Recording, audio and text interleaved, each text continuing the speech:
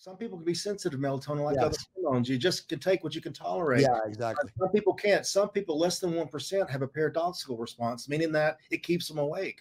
Yeah. Look- looking at papers right in front of me, the inhibitory effect of melatonin on human prostate cancer. Mm, melatonin, Amazing.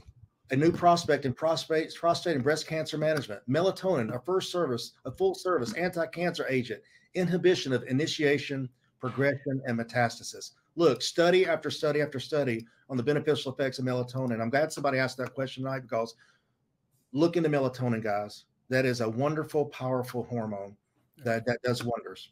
Yeah, it, exactly. It's it's me too. I had to really learn a lot of, uh, about this because we only think about melatonin low dose for sleep.